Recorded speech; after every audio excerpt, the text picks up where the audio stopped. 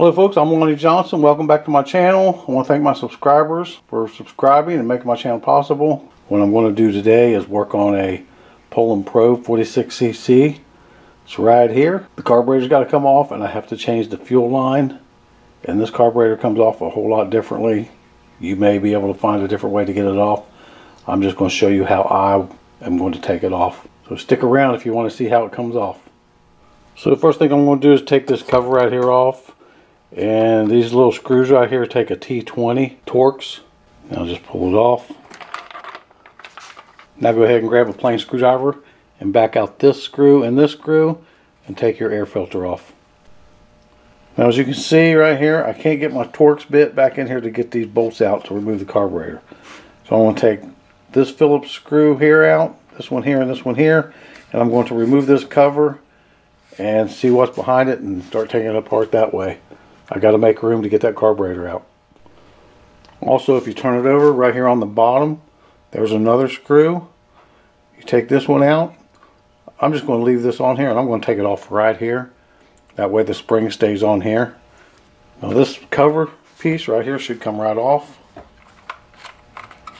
Try to leave everything else in place, like the trigger and all. So that way we'll know exactly how it goes back together. Now you'll just go ahead and remove this. Just like that. Back here is the cable. So we're going to remove that as well. Let's take a small screwdriver and just pop it out of there. And that's your cable. Remember, that's where it goes. Now with this cover here off, I should be able to move it over a little bit, get these screws out, and get the carburetor off. So now I'm going to take these two bolts right here out. They take a T25 Torx bit. Okay, now let's see what we can do here. There's one screw. I'll move this over and pull the other screw out. They're pretty long. Take this cover right here off. oh, it's got a hose hook to it. Let's take this grommet right here out. That's our throttle cable. Move it out of the way. We might be able to pull it out right here. Let's see. There we go. Got it all out of the way. Something else popped off here. Oh, the plunger. All that is is for uh, vibration. This plunger right here went on right here. So I'm going to leave it right there. Okay, here's the gasket. It actually fell down in there. Okay, now this came off. The choke is right here. Carburetor. And I'll show you how it all goes back together. Okay, here's the carburetor. It has to come off so that you can actually put a fuel line in because that's what failed on this. I'm also going to check behind here and make sure the filter inside here is not plugged up because it's been sucking fuel through here without a filter and then I'll go ahead and show you how to put this back together. But if you need to know how to clean the filter out on the inside of this I have a video that shows you how to do that. Now let's go ahead and put a fuel line on here. And it's going to go right down in this hole right here. I don't know if you can see it. Yeah there it is right there. Go ahead and take your fuel cap off. Because you're going to be pulling your fuel line through here and down. Okay, I got some fuel line here. Just make sure you get the right size fuel line or else you'll have a time getting it in that gas tank. Go ahead and take your fuel line, cut it in a point. Now take this point right here and shove it down into the hole on the top of the gas tank. Now what I usually do is take PB Blaster, WD-40 or some kind of oil to lubricate the fuel line. That way it'll slide down into the top of the fuel tank. And once you get it fed down in there a little ways, like I got this one, it'll be sticking through the other side. And you should be able to take a pair of hemostats and go up in here and find it and grab it and pull it out. Right now I can stick my finger up in here and I can feel it sticking out and I know exactly where it's at. It might take me a few tries Okay, well I got my hemostats on it. Now I'm going to go ahead and pull. I'm going to help it through the top just by pushing. There we go. And now I can actually see it in there. And I grab a hold of it and pull it on through.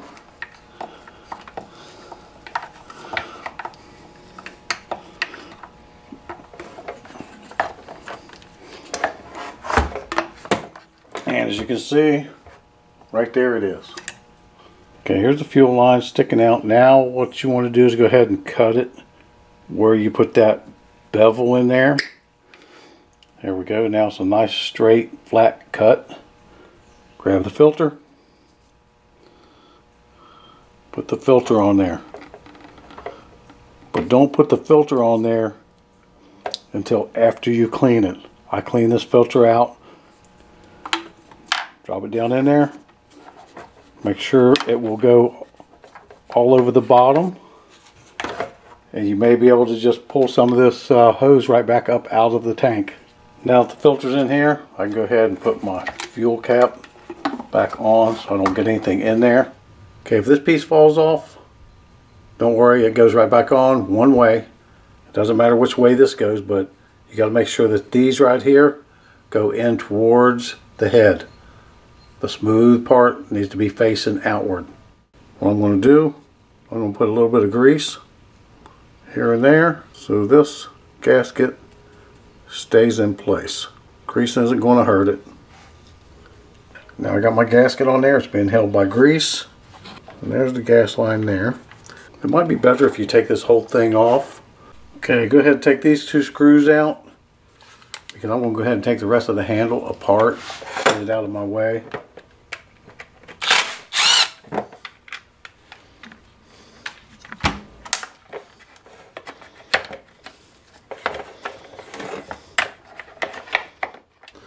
Back in here. Take that screw out and remove this and you're good.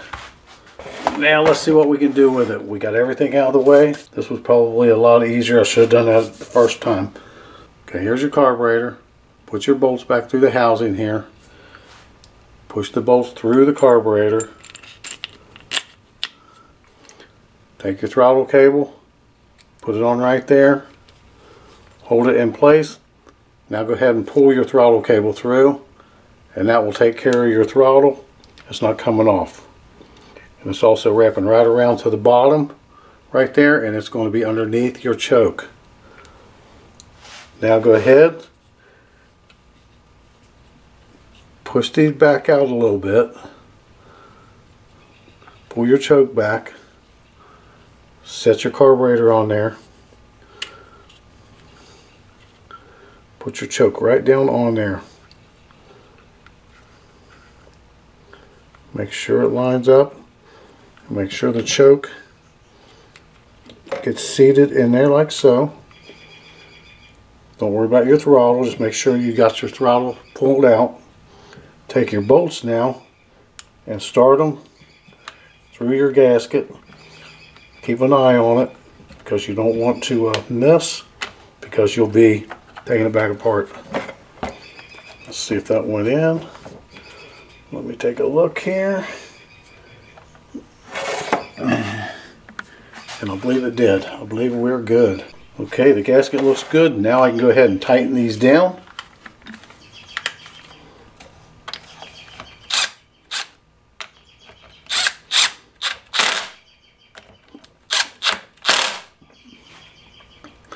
Now this grommet goes right in here. Push it down, push it right in there. Well, throttle, throttle works. Okay, now that all this is secure, I'll go ahead and hook the gas line up. Turn it sideways here. I'm going to go ahead and measure it. I'm going to cut it right there. I'll make it a little more than I need. Better to have too much than not enough. Perfect. I'm going to take my hemostats. I'm going to grab a hold of this fuel line. I'm going to push it right on here. There it goes.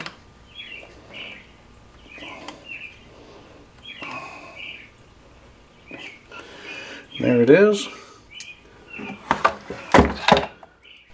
I'm going to put this back on first. Put it right here. And uh, I should have taken all this apart the first time. When I first started taking the carburetor off. So remember this bolt right here goes into the side of the block. Let me get it over here. Goes in right there.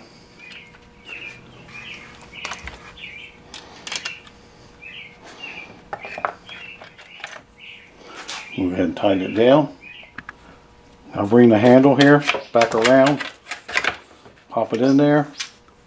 Go ahead and put your two screws back in.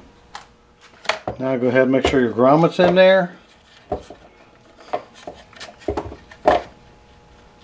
It goes right there. And this piece goes right in here. Just push it in there. Just like that.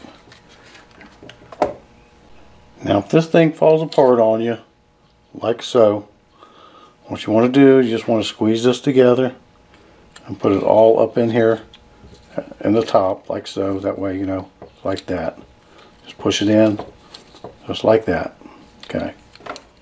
Once you got the cover on, before you put your screws in it, go ahead and test it. Make sure that it works. Now go ahead and turn it over. That bolt out put your spring on there. Flip it over. Make sure your choke works. Okay, now go ahead, check your throttle, your safety. Go ahead, put your filter back on it. Now go ahead and put the cover back on it. Now when you're hooking your throttle handle back up, see this little indentation right here? The throttle cable has got to go over top of that. So when you put it in there, make sure the throttle cable goes over top of that or else your throttle will not work. See now, your throttle works. Now go ahead and put it back together.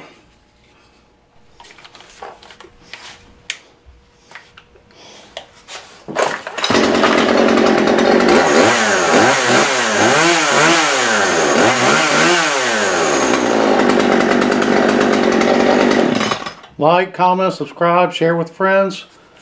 Thanks for watching.